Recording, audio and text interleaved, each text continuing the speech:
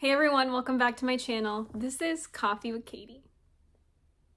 Okay, I'm doing a lot of pre-filming at the moment, well some pre-filming, and today's video is going to be a book haul because I have a bunch of books here that need a place to go and I can't stand it any longer and so we're doing it. And I'm gonna try to make this the fastest book haul I've ever done, so I'm not gonna get really in depth with the stories. I'm so sorry. I really just need for my, like, headspace for this to be gone. So I'm gonna be going rapid pace. If I've mentioned them at all in any unboxings, it's just like, okay? I'm sorry if this is upsetting to you. You can let me know how you feel about this video afterwards, but let's go. First we have In the Lives of Puppets by TJ Klune, Fairy Edition. The Broken Binding edition of The Bone Ships by R.J. Barker. The first edition, first print run of Fourth Wing by Rebecca Yarros. This is the Illumicrate edition of Some Desperate Glory by Emily Tesh. It's got some really cool sprayed edges, but I really don't know a lot about this book. It's got this underneath, kind of cool. Um, I know this is like a space story about training to avenge Earth's destruction, and it essentially sounds like her brother's sent off to war and she's sent to a nursery to bear sons. And that just sounds terrifying. And to be honest, I don't think I'm to read this book because I opened it and saw the um, trigger warnings and it says um, it contains sexist, homophobic, transphobic, racist, and albiest attitudes, sexual assault, including discussion of forced pregnancy, violence, child abuse, radicalization as child abuse, genocide, suicidal ideation, and suicide. Um, I cannot stand forced pregnancy anything, so I don't know if I will read this, but there you go. Next are the special editions of Dune Messiah by Frank Herbert. This matches the like special edition of Dune that came out with the fancy blue edges and the really pretty covers.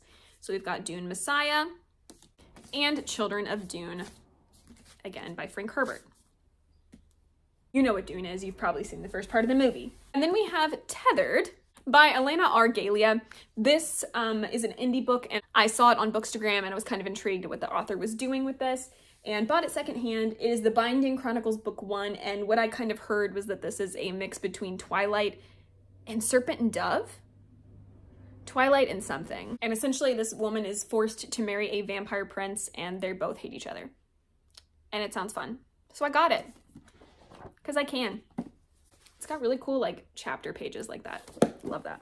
The next one I got is also an indie book and it is called Kiss of Death by Alice Wilde. This is Tempting the Fates book one and it says one kiss to bind their souls, one kiss to end them. Um, I saw like concept art. You know how like sometimes on BookTok they'll have like concept art um, or aesthetic for a book and I saw that and I that's what made me buy this book. It looked so cool. Um, essentially, you're following a character whose mother dies, and it kind of sounds like a Cinderella story-esque, where her mother dies, her father remarries this like evil woman and her two cruel sons, and her punishments get worse and worse and then her father dies and she's being sold into a, like a marriage with like a horrible lord and to save herself she makes a deal with the bargainer. If she fails she'll basically be beaten and probably murdered by her cruel husband's hand. If she succeeds her father will live. Either way her life is forfeit. She just doesn't know who to and it sounds really interesting and really cool and i love this cover so hopefully it's good. I love me some indie books now the next one I got is the Essential Amazing Spider-Man Volume 3 because I'm slowly trying to get all of these volumes because it's just in order collections of this comic series. Talked about this already, but this is the Broken, no, this is the Bookish Box edition of Between Wrath and Mercy by Jess Wisecup. And same with The House of Beating Wings by Olivia Wild Wildenstein.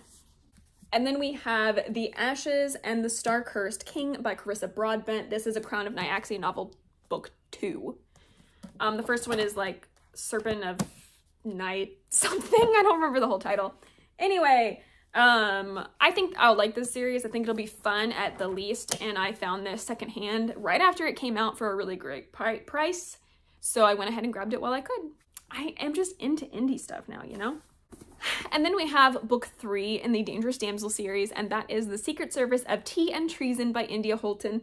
I've really enjoyed this trilogy so far, and this is the last one, and so I went ahead and got it because I love it.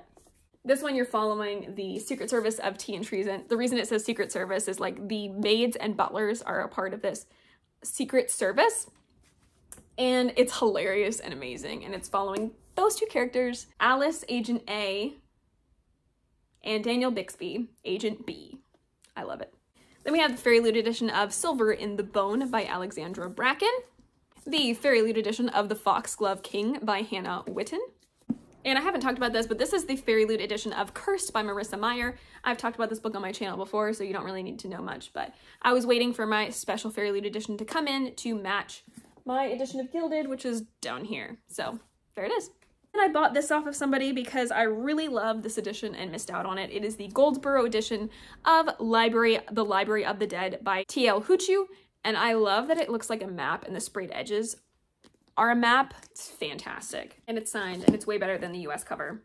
Um, I truly don't know what this is about. On the back it says, Edinburgh hides dark magic and secrets and Ropa's gonna hunt them all down. The adventure starts here. I just remember it sounded really cool about the Library of the Dead and there being kind of like a magical library. It says she calls on Zimbabwean magic and Scottish pragmatism to hunt down clues. Wow. Okay, so she discovers an occult library, a magical mentor, and some unexpected allies, and it sounds like she can talk to ghosts. Cool. And in that same vein, because I was finally able to track down book one, I ordered book two, Our Lady of Mysterious Ailments Goldsboro edition from Goldsboro by T.L. Huchu. This is the second book and it's yellow and also has the map. I love that and I will continue to buy this series in the Goldsboro editions because they're absolutely beautiful. Can't tell you really about book two because I haven't read book one, but yeah. And I got this in a bookish box, so I don't really need to talk about it, but I wasn't really a fan of that edition, so I ended up I'm gonna unhaul it and I have it in this pile of other books that I need to film soon about an unhaul. But I went ahead and just got the um, indie normal edition, normal published edition, secondhand. So I got Bow Before the Elf Queen by J.M. Curl because I really like this cover and I love paperbacks. So I thought, why not just sell that, get rid of it, give it to somebody else who would want it, and get this secondhand for cheaper. So yeah, we have that. It says, love is powerful force. It cannot be bought or stolen, but sometimes it can be fought for.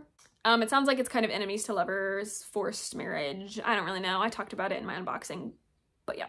Now we're gonna get into just like my pride and joy. I cannot wait to show you. Oh my gosh, I thought, I thought I was almost done. I'm not. Okay, so I had an arc that is very highly coveted, right? And I was specifically trying to trade it for one thing and one thing only. It was been, I had been trying to get it done for months. It was not happening somebody finally really wanted this arc and I really wanted this thing and we traded and we were both thrilled and like so happy we traded and we both like have such good feelings towards each other now, but I traded and got my unicorn. The FairyLoot edition of Caraval series. I can't even believe it. It's like I've been looking for these for not $800 for so long and I finally have them in my hands and I can't believe it. Anyway, so we have Caraval. Oh, I'm gonna cry. And they're all signed, which is fantastic. And they all have a little thing on the dust jacket and on the spine so that if you line them up, it creates, um, you know, art on the end pages or on the spines. I love it. Book two, Legendary.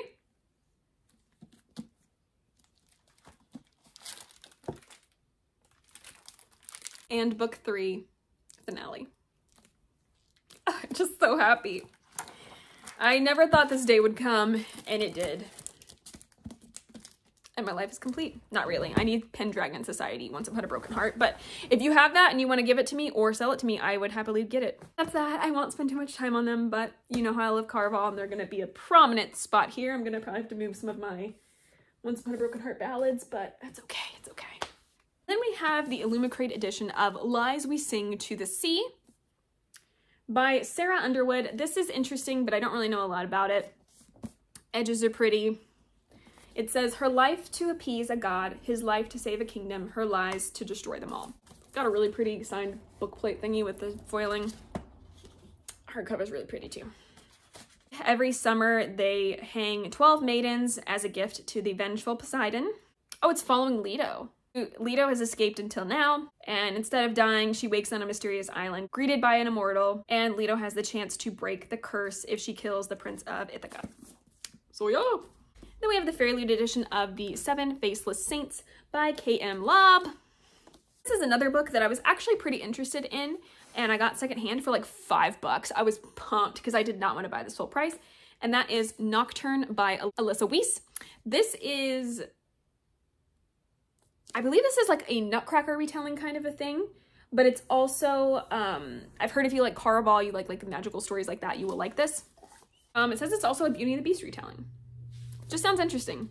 It also sounds like a Phantom of the Opera retelling. I don't really know. It sounds mysterious and fun. So it sounds magical and fun, and hopefully it is. My dog is so needy. Okay, next we have A Spinster's Guide to Danger and Dukes by Amanda Collins. This is the third installment in the Ladies Most Scandalous series. I blew through the first two, and I'm very excited about the male interest in this, so. Can't wait. You're following Miss Poppy, who's in the second book, and then you're following the Duke of Langham, and he's kind of a player and kind of fun and kind of reminds me of Tristan from uh, A Rogue of One's Own. So I'm excited about this one a lot. Sorry, I had to give him a toy to preoccupy him and it's loud. We have the Goldsboro edition of The Shield Maiden, of Shield Maiden by Sharon Emerich. Got little sprayed edges things. You're following the niece of Beowulf, and she's also disabled and is becoming a warrior. There you go. Short and sweet, short and sweet. And then I have a wonderful possession, and that is the Broken Binding editions of the Ember Blade, the first two books by Christopher Wooding. I think I will absolutely love this series once I get into it. I've heard it's like the modern Lord of the Rings, just like a new fantasy, high fantasy, just like monster, like star.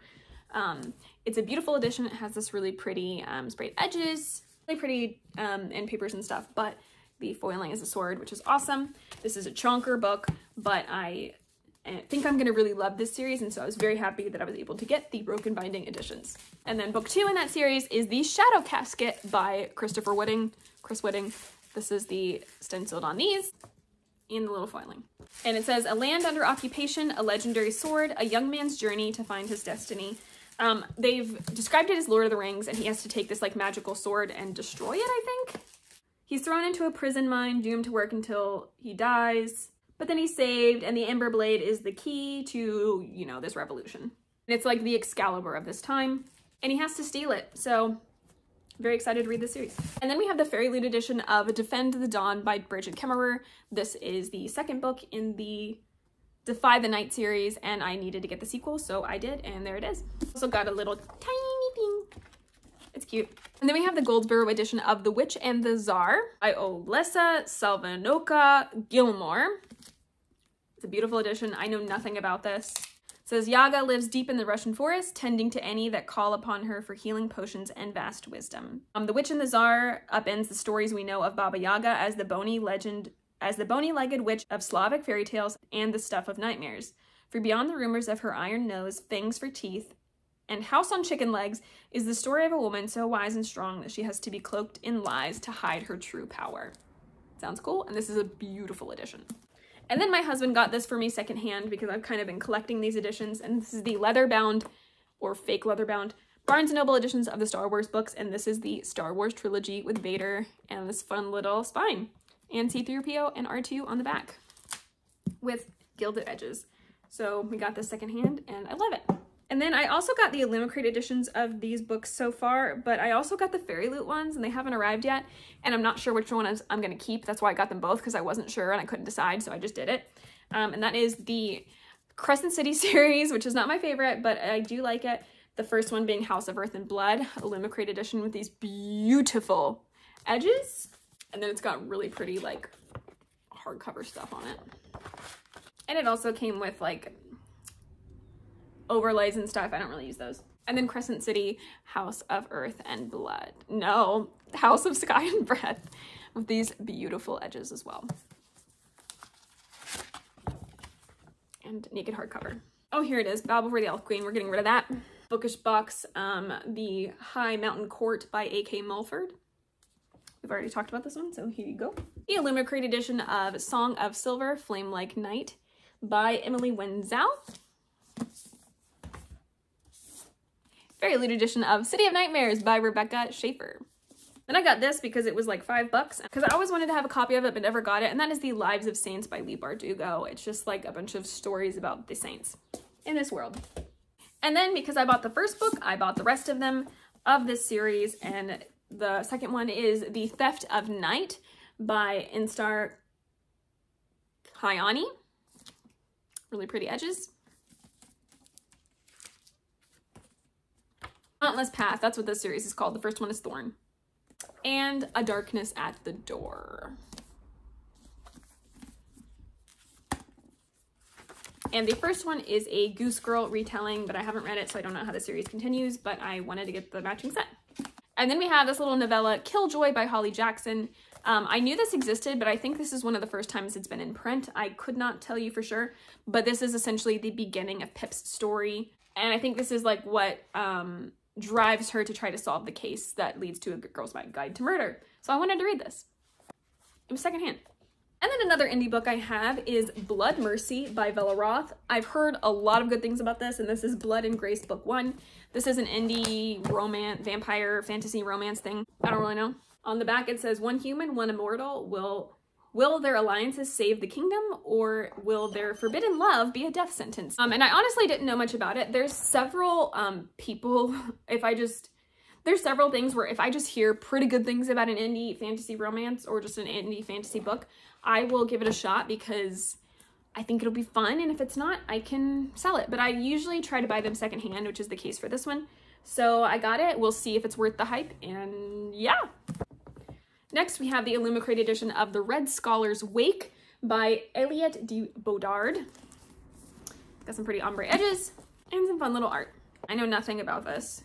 Set against a backdrop of an interstellar war against piracy and the five fleets brutal fight to survive each other and the attackers arrayed against them. This is an exciting space opera and a beautiful romance for an exceptional SF author.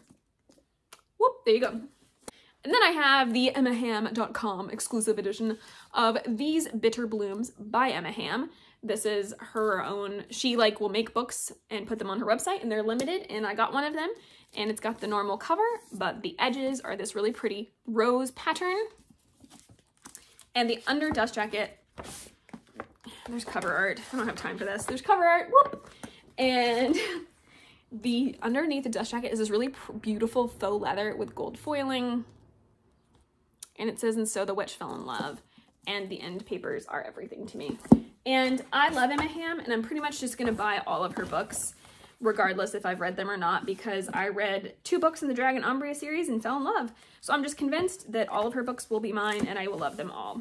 Maybe that's not a good perspective to have, but that's what I'm going for, and I buy her books. She's an auto-buy author for me. And then we have the Goldsboro edition of The Book of Eve by Meg Clothier. And it's got really pretty sprayed braid edges. And it says, in pages hide an ancient secret, the truth could cost her life. In the name of the Father, not of a word of this, her letters are forbidden. The Book of Eve is a beautiful and, and spellbinding story of female empowerment. And essentially, she works at a convent and she finds a magical book, and people want the magical book destroyed. I feel like I don't even have to get into these, but I finally got the Fairyloot editions that I ordered of Legendborn and Blood Marked by Tracy Deonn. This is in our Arthurian legend retelling. I've heard it's a mixture between the Shadowhunters universe and Arthurian legend, and the edges are beautiful awesome, awesome, awesome. And the hardcovers pretty much look, woo, very similar, but they're beautiful color choices and everything. So I have the Legendborn cycle in Fairyloot edition at last. And then I have the special edition of Winter of the Wicked by J.L. Vampa. I will continually buy the special like seasonal editions of the Sister Solstice series, the Sister Solstice series. This is book two and it's following winter and I think I'm gonna actually love this one a lot. And I've heard it's got really dark, like carnival or caraval vibes. And that is my jam. So I'm very excited. And this is what the naked hardcover looks like. It's glossy this time, not matte. I don't love that, but I love the designs. So I'm gonna continue to get these and I got it. Super sweet. And it says Rise Wild One. And then we have the Fairyloot edition of The Adventures of Amina al-Sirafi by Shannon Chakraborty, and I've already talked about this. This edition is beautiful. And then last but not least, we have a series a, of special edition series that I bought from Bookish Box. So let me just get them all out. It's gonna be a struggle. So I got the Savage Lands series Bookish, Bookish Box edition by Stacey Marie Brown. And they have this beautiful naked hardcover editions and the spines are all something different that make up a picture. I'll try to make it for you. So we have Savage Lands, Wild Lands, Dead Lands, Bad Lands, Badlands, Bloodlands, this cover's terrifying, and Shadowlands. I love this cover because it looks like a circus. And the edges are all really fun, but when you put them on your shelf, I'm not gonna be able to do this perfectly, but it creates an image like this, and I love that. I'm a sucker for that.